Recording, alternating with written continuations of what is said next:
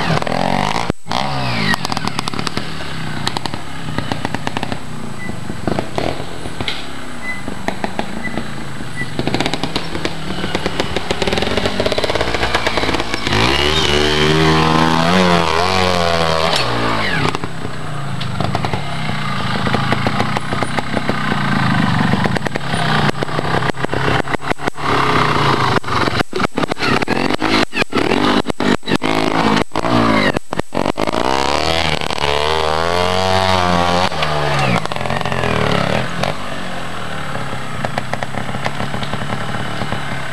Au mépris du danger.